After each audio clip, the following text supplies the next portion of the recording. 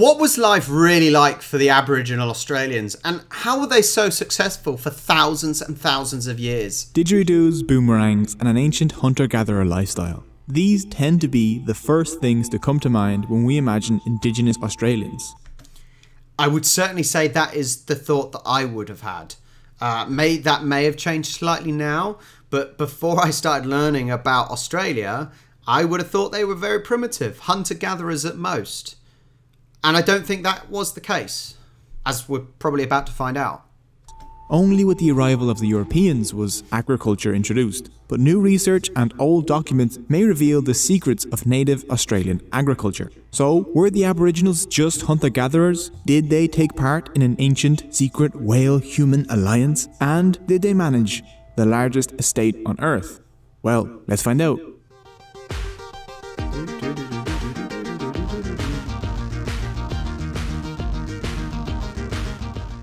When the explorer Thomas Mitchell first travelled around Australia in the 1830s, he noted, We crossed a beautiful plain, covered in shining verdure, and ornamented with trees, which, although drooped in nature's careless haste, gave the country the appearance of an extensive park. It gives us a beautiful image of what the Australian wilderness would have looked like before the first European settlers arrived. Only there's something slightly wrong with this image.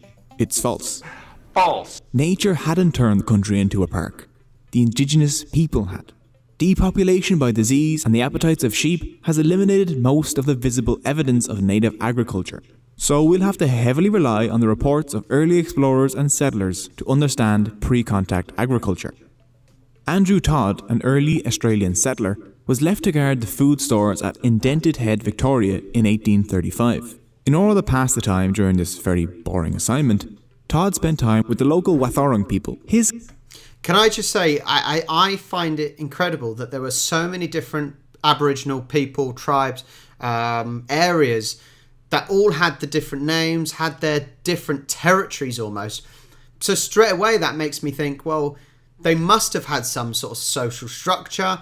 They must have had communication with other other Aboriginal people as well. That which they had their own land. You know, each each different um, type of people had their own land. So that must show a little bit more. You know, they weren't just hunter gatherers in that aspect of things. sketches of their lives give us a small insight into Aboriginal agriculture. One sketch shows a line of women digging for murnong tubers, a native yam, which is now almost extinct. The area where the women are working is perfectly cleared in a manner that would make harvesting much more efficient, in a similar manner to how modern farmers maintain their fields. Other explorers, such as Mitchell, noted similar behaviours elsewhere. At Cooper's Creek, it was documented that the natives reaped millet in fields of over a thousand acres, cutting down the stalks with stone knives. On the Arnhem coast, the parsnip yam was particularly important. When yams were dug out, the top of the tuber was left still attached to the tendril in the ground, so that the yam would grow again. regrow. The fact that settlers report stuff like this over and over again shows that this wasn't an isolated technique. Cultivation wasn't a bug, it was a feature of Aboriginal land use. it makes you then think, well, how did they know to do that? I suppose we could say, well, how do we know to do what we can do, the, the, the farming techniques? But if these, bear in mind, this was small amounts of groups, like, sorry, lots of groups, but very small uh, amount of people in each group, right? Well, how then is the knowledge gained from each individual group, or how is the knowledge passed to other groups? That seems to be the most logical way that actually they all talk, they all communicate um, to each other within different languages, but the knowledge is passed from one group to another. Maybe completely wrong, but how did they do it in the first place? How did they know what to do in the first place?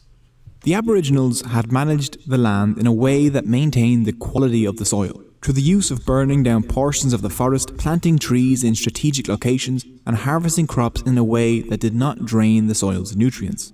This process led early colonists like Edward Page to remark When I first came here, I started a vegetable garden, and the soil dug like ashes. The constant stomping of newly arrived sheep and cattle destroyed the carefully managed earth and compacted the once soft soil. Now rains bounced off it, and rivers flooded higher than Aboriginals had ever seen. The Aboriginal methods of land management were not just practical, but also pretty. Clearing the land, planting trees in neat rows, and managing soil built that landscape that Mitchell described as an extensive park. There are so many of these examples of Aboriginals managing the land that Norman Tindale was able to draw this map of indigenous grain areas, which stretched out across the continent. I won't tell you what it looks like. Just take a look. Sorry. The native people would take seeds from one area and bring them to others where they did not occur naturally. They could trade them for other goods and services, as well as simply giving them as gifts.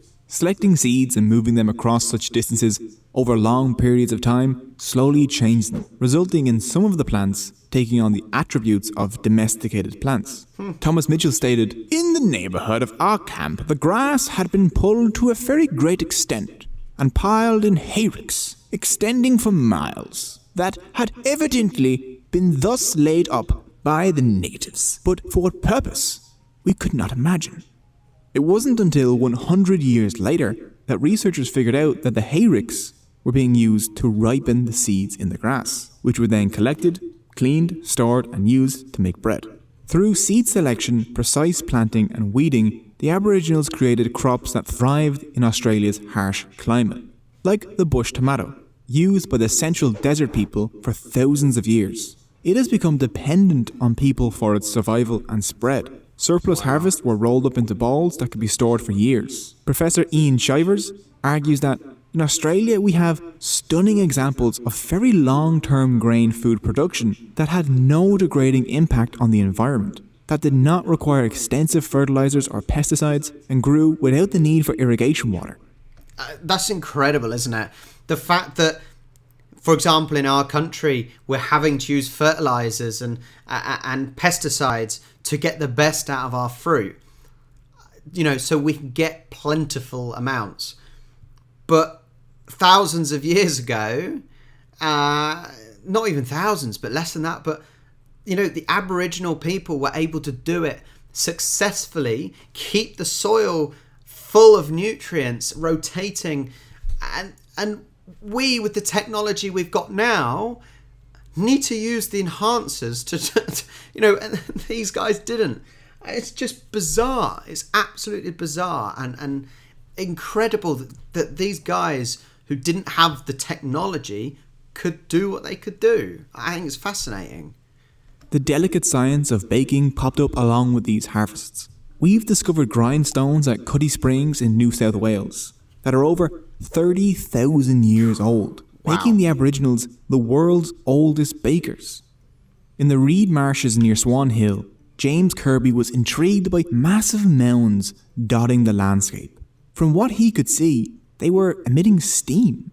He discovered that they were in fact gigantic ovens used for cooking. In this harsh land, the Aboriginal people produced a surplus, and surplus food production is one of the characteristics of agriculture. They had to take advantage of every niche possible in order to do this. They grew the nardoo plant because it could grow in the beds of shallow lakes in otherwise inhospitable regions. As the lakes dried, explorers observed Aboriginals sweeping the seeds into huge piles and processing it into flour. Many explorers only barely survived their journeys after borrowing from these native stockpiles. John Davies, a member of one of the search parties for the famous Burke and Wills expedition, reported of the huge quantities of nardoo seed he saw in the Strzelecki Desert, reminding us that desert is really just a place where Europeans can't grow wheat and sheep. Everything was preserved, from moths all the way to fish. Preserved caterpillars were made into a kind of flour, and figs and quandong were pulped and mixed into an edible paste. Large grain stores of more than 50 kilos were preserved in animal skins. The Aboriginals developed a system that allowed them to harvest from their environment without placing too much stress on it. This produced incredible results for them. Under this system, the Australian Alps became a huge food producer due to the summer arrival of massive numbers of Bogong moths. Clans such as the Manero, Bidwal, Ngarigo, Yuin, Tawa, Djiringanj, Walbanga, and the Nunganawal, which I have butchered all the names of, came together from across the continent to harvest these moths. Huge quantities of moths were collected from crevices in the rocks, captured with nets or swept up into kangaroo skins. The body was eaten or ground into a paste and made into doughy cakes which were then smoked to preserve them. Mmm, smoked moth paste, my favourite. Yummy. Settlers, and I'm not joking here, described Aboriginals returning from the moth harvest with their bodies glistening with moth fat. When they weren't glistening with moth fat, the Aboriginals were using fire to manage their environment. I, I, I, all these things. Now, bear in mind, I don't think they had paper. They didn't have pen, pencil, paper, did they? So, if you think all this knowledge over thousands of years has been gets passed down from generation to generation, new things get learned as well along the way. So it's all through uh, communication. Uh, it's all through teaching. None of it is written down. That's another thing I find incredible. Where would we be now without pen and paper to be able to explain to people how to do things? I don't think we would. Um, and that makes it even more incredible because as as they meet new new Aboriginal tribes, they can then pass on the knowledge, and that new knowledge starts elsewhere. Uh, it's I, I, I, it's hard to comprehend almost. That's uh, what I think with with the world that we live in now. It's almost so difficult to comprehend how they did it at the time. Early reporters assumed that the burnings were a simple hunting method, but it appears that they were using the fires to create a section of cleared land and forest as part of a plan to maximize resources. They would position drinking wells between kangaroo zones and growing zones to provide all the needs for the animals, so that they would have no reason to enter areas dedicated to crops. They had created this kind of psychological fence. Fire controlled where the animals and trees would be, which made hunting much more effective and predictable, while at the same time keeping animals away from the crops. Within years of the Aboriginals being prevented from burning, the countryside was overrun with weed species. What had once been attractive pasture transformed into shrubland in a matter of years. You see, the settlers disliked fire. It threatened their houses, their cattle, and their crops. But it was this careful use of fire that made the land so attractive to them in the first place. By constantly managing their environment, the Aboriginals built up a deep knowledge of the plant and animal life around them, and they used this knowledge to their advantage. For example, there is this incredible traditional whaling story recorded by the ethnographer Robert H. Mathews. When the natives saw a whale being chased by killer whales, one of the old men would pretend to be weak and slow to make the killer whales feel bad for him, and then the man would call on the killer whales to bring the chased whale ashore. When the injured whale drifted onto the beach, the other men came out of hiding to kill the whale. This ritual with killer whales encouraged the whales to chase even larger whales ashore, where they would be harvested by the Yuin people, who would then share the feast not just with the neighbouring clans, but also with the killer whales, who would receive the tongue, which was apparently their favourite part. Whether there was an actual connection between the people and the whales is up for debate. Surely that is not true surely the the they're so far out in in the sea that they wouldn't even have a clue that the people were there. If that is true, that is incredible. Absolutely incredible. But it appears that the Aboriginals understood how to constantly turn their fragile ecosystem to their advantage. This continued up until European whalers began to hunt and harm the whales. This severed the ancient human whale alliance but prophecy states that a child will be born of both races that will one day reunite our broken worlds. Their alliance with the whales wasn't the only aquatic achievements of the Aboriginals. They were also experts in aquaculture.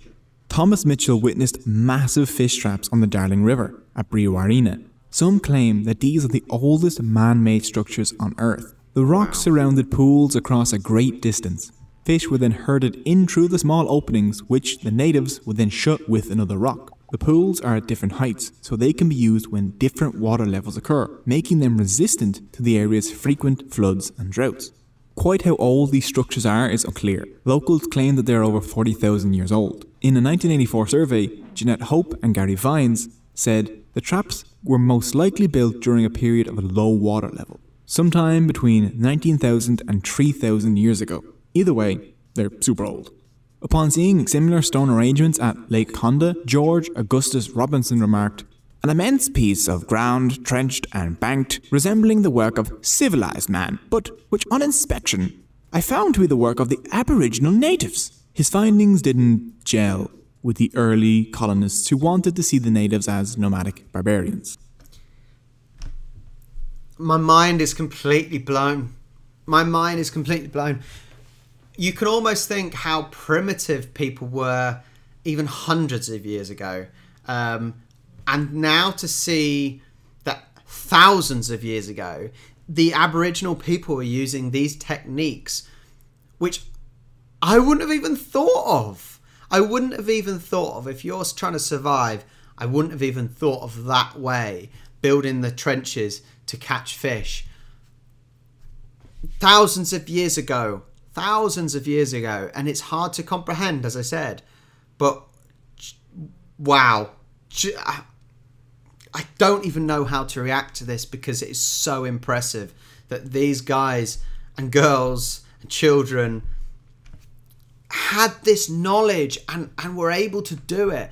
And like they like they say, you know, when the when the settlers came over, they wanted to think that these Aboriginals were just were just hunter gatherers. They were basic. They were simple they didn't have any sort of socialized way of life, uh, and and they were barbarians basically, but they weren't.